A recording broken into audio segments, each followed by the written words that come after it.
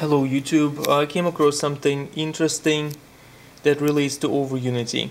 So this here is a bitoroid transformer. So here we here we go. It's a bitoroid transformer. So you have two secondaries and one primary.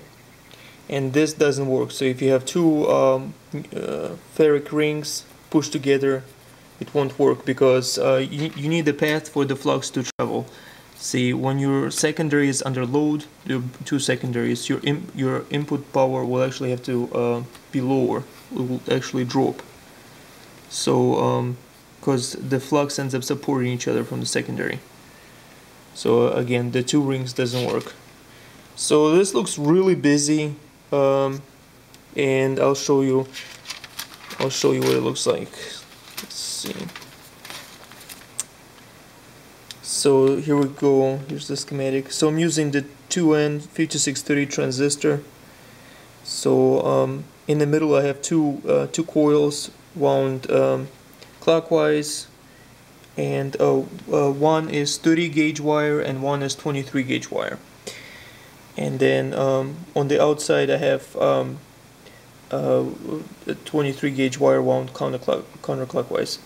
In this uh, particular instance, the winding, uh, which direction you wind shouldn't uh, shouldn't matter, because you uh, and um, so you we have two secondaries here, and we have um, an, uh, you know two two layers in the middle. input power again is 5.9 volts at 400 milliamps, and um, this is basically a glorified joule thief that I constructed, but it's just to show that your um, secondaries end up supporting each other.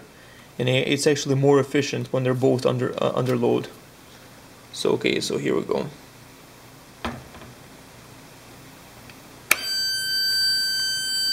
So right now um, I have this light bulb connected to the base and the collector.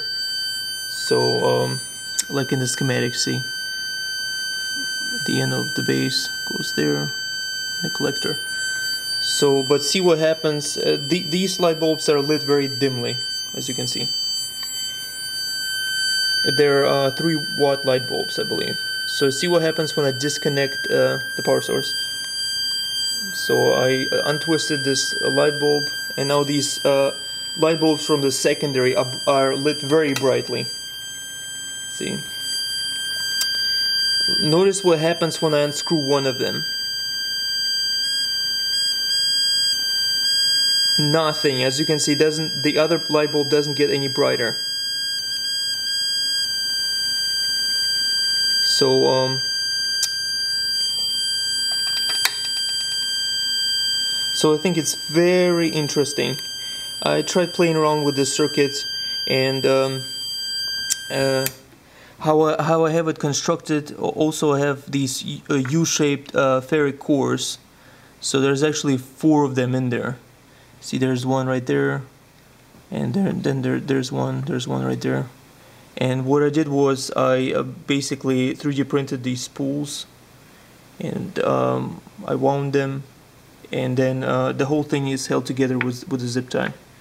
And these little pieces are also 3D printed tubes that slide onto the ferric uh, toroids. So um, anyways I just wanted to share this. I, th I think it's um, it's pretty cool. To further demonstrate the effect, I decided to use uh, the voltmeter.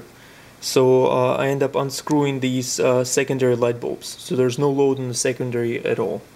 And uh, we're going to see the voltage. So okay. So the leads are connected across across here, across the terminal of this uh, light bulb. So we have 37.5 volts, right? The secondaries are dim, they're not connected. So okay, let, let's let's connect them. Okay. So this one's lit a little bit. Okay. Let's look uh, at the voltage. See, it hasn't dropped. It hasn't changed at all. Okay. So again, I, I apologize, you guys, for the uh, annoying sound. That's the metal, the transformer that's making the the noise. So okay, let's unscrew this one. Okay, our voltage uh, spiked to 38.2 volts with two secondaries lit. So with, with just one light bulb, we had uh, the voltage was 37 volts. See again. See. Anyway, and um, the the um, the U-shaped cores that I used was just like this one. This one I used for for another experiment. I'm just demonstrating what it looks like. See, it's a bunch of these over here, like this and there's actually four of them and it has a little groove where you can put the zip uh, the zip tie to to hold it anyway hope you guys like this video